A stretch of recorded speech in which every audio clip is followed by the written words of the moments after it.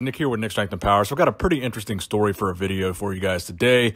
Um, and that story is about a bodybuilder named Marius Dohne, who is a South African bodybuilder um, that actually was diagnosed with stage five kidney failure, kind of his comeback to getting his health back, getting back in shape. Not as a pro bodybuilder, he doesn't compete anymore. So I think this story serves as both a good cautionary tale and also as an inspirational story um, because number one, there are certain risks associated with becoming a pro bodybuilder um, and certain health issues that a pro bodybuilder could become more susceptible to, such as kidney failure or a heart attack, um, high cholesterol, high blood pressure. Um, this is a positive story.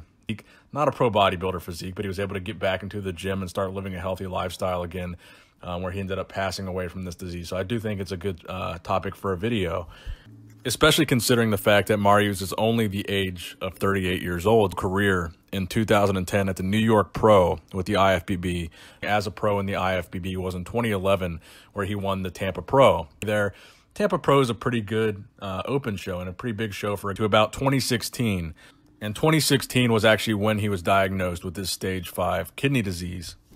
Now, early on in his career, after competing at the 2011 Mr. Olympia, that was when he first learned that he had some issues with his kidney. So he actually took a brief retirement between 2011 and 2016. Um, I believe until 2014 was when he made his comeback. So he took about three years off to try to solve and recover from the kidney issues that he was having in 2011. So you could make the argument that that comeback in 2014 was the straw that broke the camel's back, so to speak, um, as far as the stage five kidney failure. Because after 2016, when he was diagnosed with stage five kidney failure, the condition of his kidneys was rapidly declining at that point. Um, so it was a very, very fast downfall um, in 2016.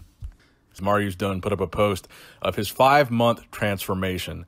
So at the beginning of the five months, he was able to take his physique from the physique that you see on the left to the physique that you see on the right. And he talks about how bad of shape he was in and how he was in a wheelchair. He's got a very strict diet. He can pick up his son with one hand. Um, he's strong again, and he's, his health is back.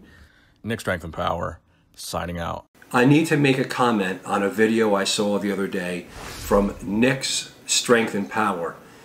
Nick is a great guy and he's doing an incredible service.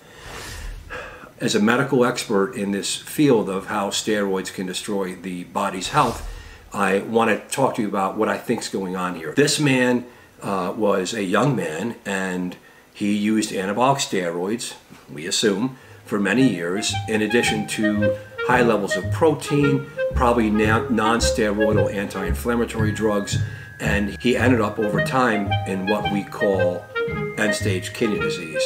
Please, if you're going to use steroids, you need to know this. This happens. Anabolic steroids with susceptible men for focal segmental glomerular sclerosis, FSGS, and kidney disease with genetics that it's lurking. And I've diagnosed many men in the pre-stages of this right now he received care and probably has received a transplanted kidney and now he appears to be healthy again. Okay, so this man most likely has a transplanted kidney, almost 100% guaranteed, and he's living on a multitude of drugs for anti-rejection medications. And I want it to be known that it looked like the way Nick presented it, and again, Nick, you're doing a great job. You're not a doctor, that's fine. It appears that this guy does steroids, he crashes and burns, he looks horrible, and then the last picture, he's not back to the bodybuilding shape, and it's interesting, but he looks pretty good and looks like he's probably back on TRT at least, or he's looking pretty healthy. I want to give this warning that it's not that easy. This wasn't some transformation that this guy started doing something or saw a doctor and all of a sudden that he's healthy again. This man suffered. This man went through horrific means and he has a transplanted kidney. Do you want that? Please be careful. Please be careful. If you do steroids, it may lead to more and more steroids and you may end up damaging your kidneys or your heart. I really hope this helps. Thank you so much.